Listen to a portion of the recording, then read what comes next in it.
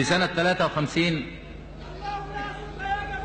كنا نريد فعلا مخلصين إن إحنا نتعاون مع الإخوان المسلمين على أن يسيروا في الطريق الصحيح والطريق السليم. وقابلت المرشد العام للإخوان المسلمين. وقعد وطلب مطالب. طلب إيه؟ أول حاجة قال لي يجب أن تقيم الحجاب في مصر.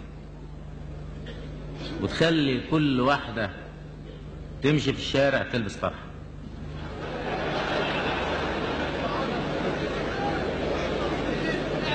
كل واحدة تمشي.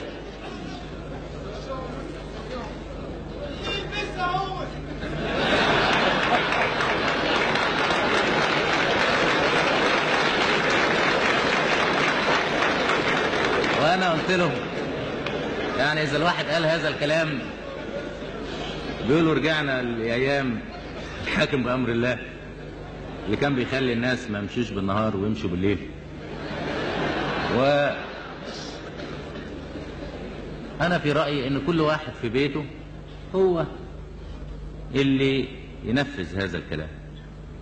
فقال لي لأ أنت باعتبارك الحاكم مسؤول. قلت له يا أستاذ أنت ليك بنت في كلية الطب. مش لابسة طرحة ولا حاجة. ما لبستهاش طرحة ليه؟ ده كنت انت.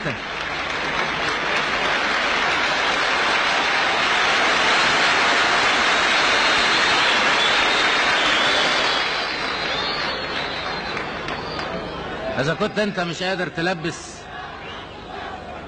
إذا كنت انت مش قادر تلبس بنت واحدة اللي هي بنتك طرحة عايزنا ننزل ألبس عشرة مليون طرح في البلد؟ نفس